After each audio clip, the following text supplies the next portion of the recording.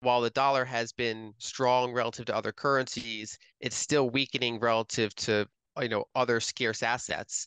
Uh, and uh, the dollar index itself could be taking a, a bit of a, a, breather here after such a strong period. Um, and you know, if you look around the world, gold is still the biggest monetary base. So some countries like the United States or China have bigger broad money supplies than the estimated amount of gold that exists. Um, but in terms of the actual monetary base, um, gold gold is the biggest one still. More central banks are deciding to, to increase their gold allocation relative to treasury allocation. Some of this is because they now recognize treasuries as a confiscatable asset potentially. For years, we kind of saw gold break out in most currencies other than the dollar.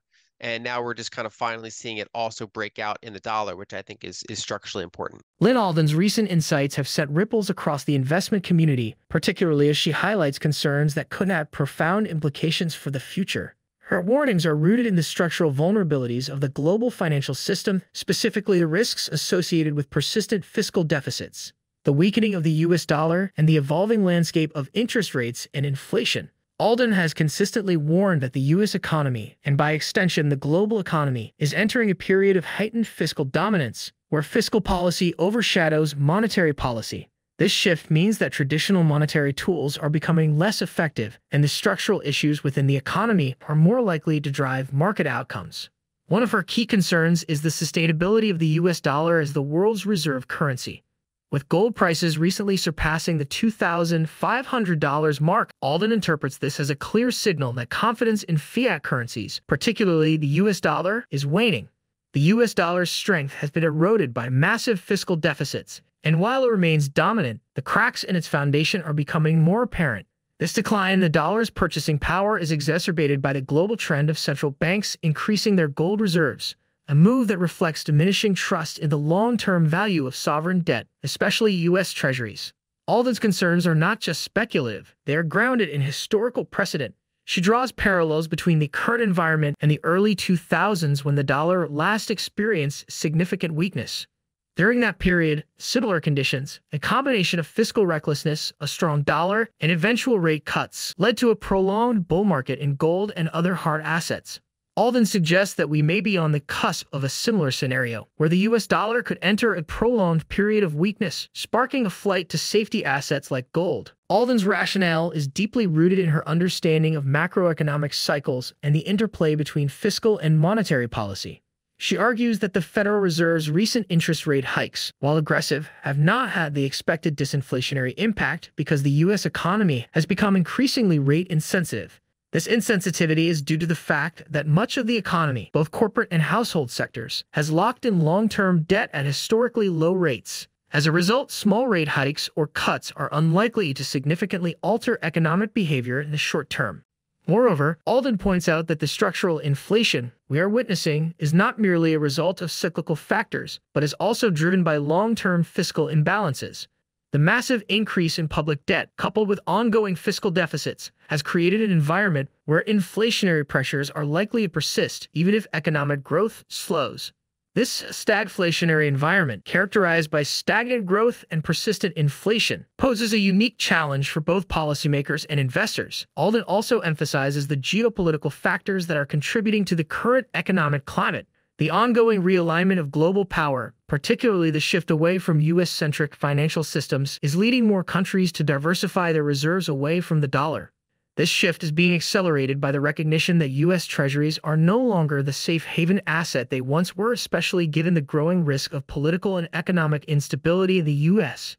Recent economic data supports Alden's concerns. For instance, the U.S. fiscal deficit for 2023 was reported at $1.7 trillion, a figure that underscores the unsustainable trajectory of government spending. This deficit, which is nearly 7% of GDP, has been primarily financed through the issuance of more debt, pushing the U.S. national debt to over $33 trillion. As Alden points out, this level of debt is manageable only as long as interest rates remain low and global demand for U.S. debt remains strong, both of which are increasingly uncertain. On the inflation front, while official measures have shown some moderation, the core inflation rate remains stubbornly above the Federal Reserve's target of 2%. This persistence in core inflation reflects deeper structural issues, such as rising labor costs and supply chain disruptions, that are not easily addressed through monetary policy alone. The Federal Reserve's own projections suggest that inflation could remain above target for several years, which aligns with Alden's view that we are entering a period of sustained inflationary pressure. Additionally, the global move towards de dollarization is gaining momentum. Countries like China and Russia have been actively reducing their reliance on the dollar in trade and reserve holdings. The BRICS nations have even discussed creating a new currency for international trade, which could further erode the dollar's dominance. Central banks around the world have been increasing their gold reserves at a record pace, with global gold reserves reaching their highest levels in decades. This trend is a direct response to the perceived risks of holding too much U.S. debt in a world of rising geopolitical tensions and fiscal uncertainty. Given the challenging landscape Alden describes, she advocates for a diversified investment approach that includes a significant allocation to hard assets, such as gold and commodities. These assets are likely to perform well in an environment of currency debasement and persistent inflation. Alden also recommends exposure to energy producers and other commodity-based sectors. These industries tend to benefit from inflation and show resilience in times of economic uncertainty. For example, despite the recent pullback in oil prices, the long-term demand for energy remains strong, driven by global economic growth and the transition towards renewable energy sources. Investing in companies with strong balance sheets and a focus on essential commodities can provide a hedge against inflation and potential currency devaluation. In addition to hard assets, Alden suggests considering emerging markets, particularly those with strong fundamentals and less exposure to US dollar denominated debt. As the dollar weakens, these markets could see a resurgence, offering attractive returns relative to developed markets. Countries with solid current account surpluses and growing domestic economies are particularly well positioned to benefit from a shift away from dollar dominance. Lastly, Alden advises maintaining a flexible investment strategy that can adapt to changing market conditions. This includes being prepared for potential market corrections and having a plan in place to capitalize on opportunities that arise during periods of volatility. For instance, while gold and commodities are likely to perform well in the long run, there may be short-term pullbacks that present buying opportunities.